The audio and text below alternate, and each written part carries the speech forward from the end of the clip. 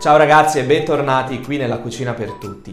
Oggi andremo a realizzare una videoricetta, per lo più un tutorial molto semplice e molto veloce, perché molti di voi mi hanno chiesto Fabio ci fai vedere come preparare lo sciroppo di glucosio? Molto volentieri, anche perché spesso nelle ricette di pasticceria, come per esempio per la realizzazione della ganache che va a ricoprire i profiterol, viene chiesto di mettere proprio lo sciroppo di glucosio. Oggi vi faccio vedere come prepararlo. Vedrete che come ho detto prima la realizzazione è molto semplice e molto veloce, quindi se siamo curiosi di vedere come realizzarlo prendete nota perché questo è un tutorial e mettiamoci a lavoro perché i fornelli ci aspettano.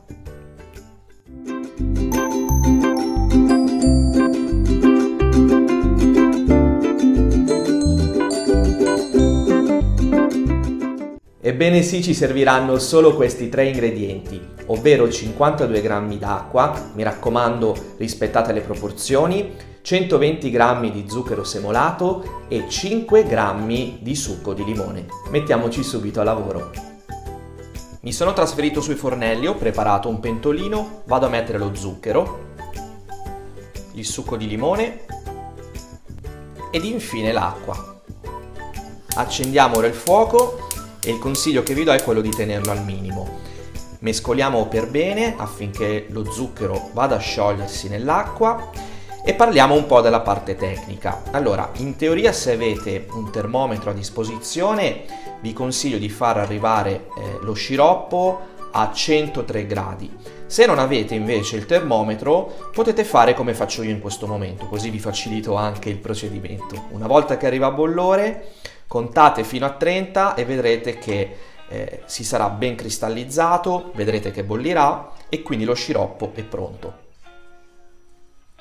È importante che continuiamo sempre a mescolare così non si attaccherà nulla proprio sul fondo del pentolino.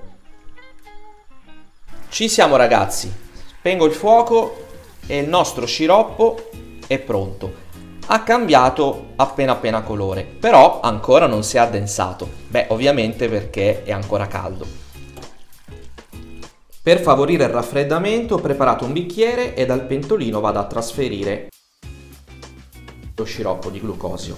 Lo lasciamo raffreddare e poi possiamo utilizzarlo per i nostri dolci. Tenete conto che potete anche metterlo in un vasetto, ma io essendo che dovrò andare a fare un dolce l'ho messo proprio qui nel bicchiere.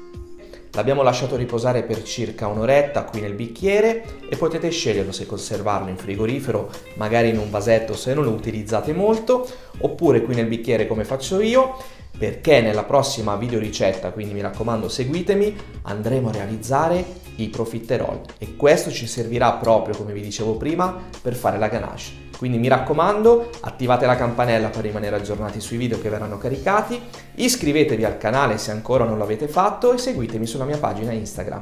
Da Chef Fabio, da questo sciroppo di glucosio e dalla cucina per tutti, ci vediamo alla prossima. Ciao ragazzi!